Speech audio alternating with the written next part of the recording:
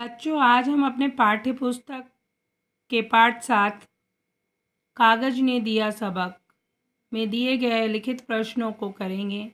इसे आप अपनी नोटबुक में लिखें। प्रश्न क, अधीस कागज़ की बर्बादी कैसे करता था? उत्तर, अधीस कागज़ को फाड़ता और इधर उधर गिरा देता।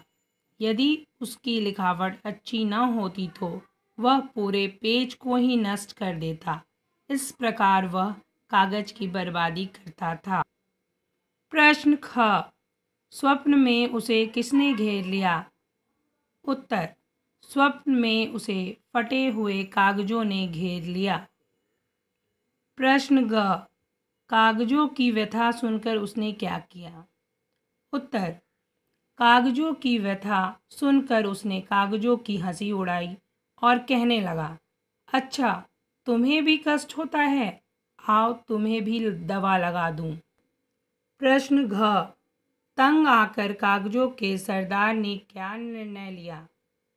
उत्तर, तंग आकर कागजों के सरदार ने अधीस की दुनिया से दूर जाने का निर्णय लिया। प्रश्न अंग, अंत में अधीस ने किससे माफ़ी मांगी?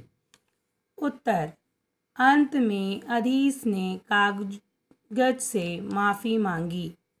बच्चों, इसे ध्यान से पढ़ें और अपनी नोटबुक में लिखें।